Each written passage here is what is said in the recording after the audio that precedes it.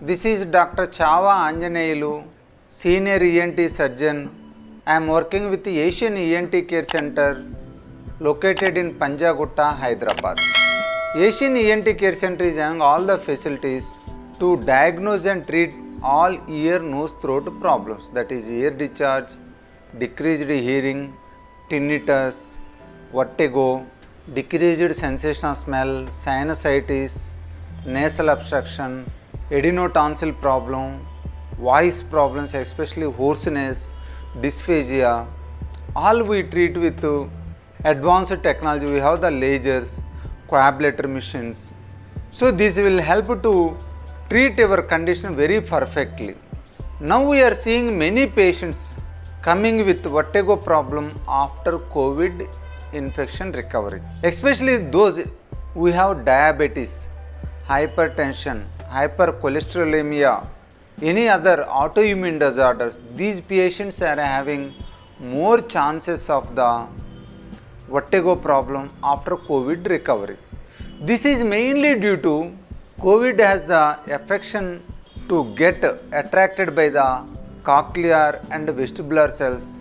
So, in COVID patient, there is a more chance this infection will go to the inner ear and cause infection. Along with this infection, if he has the patient has predisposing factors, those are diabetes, hypertension, hypercholesterolemias, any vasospasm problems. This will increase the COVID effect. Mainly in the inner ear, the problem is due to hair cell damage, that is vestibular hair cell damage and blood vessel constriction. These two factors will cause the vertigo problem after COVID infection. If blood vessels already narrowed because of diabetes or any hypercholesterolemia or atherosclerotic patches, this COVID minimal inflammation also cause complete problem and that's why patient will get dizziness problem. In autoimmune disorders also already there is inflammation in the ear which increase the effects of the COVID. So COVID patients with other health problems will have more chances of vertigo problem. Usually these patients initially they will focus on the recovery of the COVID infection. Once they recover completely from the infection after 2-3 weeks and they will focus on the dizziness or vertigo problem. After once he recovered, his general condition improves, he becomes numb, then he will focus on that and he will say, I am having vertigo problem or hallucination of the movement. In these patients, always we have to do the vestibular function test to check how the vestibular function is there. If there is a damage to the vestibular function, these tests VEMP and video nystagmography show the decreased response. So that is hypofunction of the vestibular system. Once you diagnose that system, then you treat the patient for vertigo.